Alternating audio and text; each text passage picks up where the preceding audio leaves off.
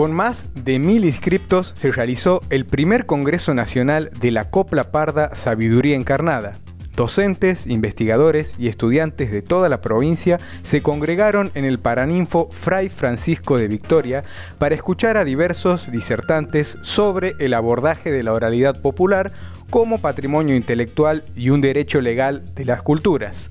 Este encuentro estuvo organizado por el área de investigación Copla Parda, el área de relaciones interinstitucionales e integración territorial y la Facultad de Humanidades, Ciencias Sociales y de la Salud con el apoyo del gobierno de la provincia de Santiago del Estero.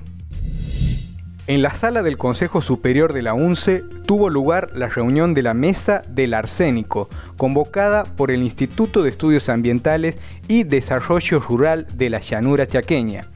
Esta mesa de diálogo convocó a docentes e investigadores de nuestra universidad y de instituciones provinciales para generar un espacio de trabajo conjunto en relación a la problemática denominada hidroarsenicismo crónico regional endémico tras este intercambio se buscará la difusión, la concientización y el desarrollo de mesas de trabajo interinstitucionales en relación a la temática abordada. Participaron de esta iniciativa miembros del Departamento de Geología y Geotecnia de la Facultad de Ciencias Exactas y Tecnologías, la Facultad de Ciencias Médicas y la Facultad de Humanidades, Ciencias Sociales y de la Salud.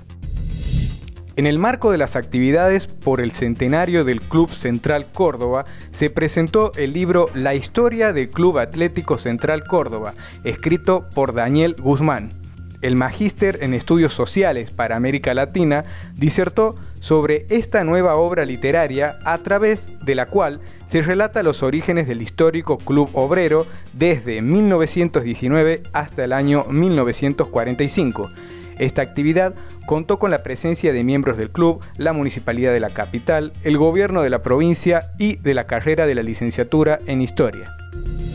La Escuela para la Innovación Educativa y el Área de Relaciones Interinstitucionales e Integración Territorial organizaron el primer seminario regional precongreso del Tercer Congreso Nacional de Educación Sexual Integral.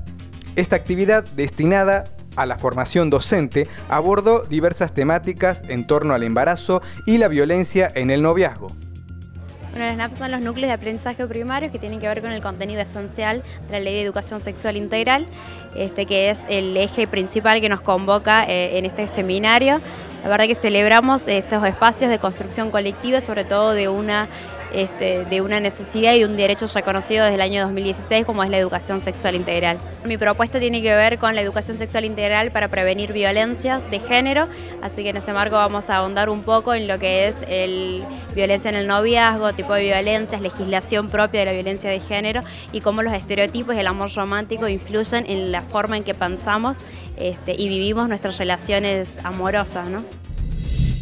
Estudiantes de la carrera de Educación para la Salud de la Facultad de Humanidades, Ciencias Sociales y de la Salud organizaron una feria varieté libre y gratuita para toda la comunidad. Se dictaron talleres sobre salud integral, hubo una radio abierta y se realizaron actividades teatrales de danza y música en vivo junto a emprendedores de productos artesanales. Como parte del proyecto Saberes y Sabores, el programa Santiago Diversidad, junto a las facultades de nuestra universidad, organizaron un nuevo viaje hacia el interior de nuestra provincia. Esta experiencia de viajes de estudio de la comunidad universitaria en interacción con el medio rural tuvo lugar en el departamento Loreto, en donde se compartió una jornada de intercambio de experiencias junto a los productores del lugar.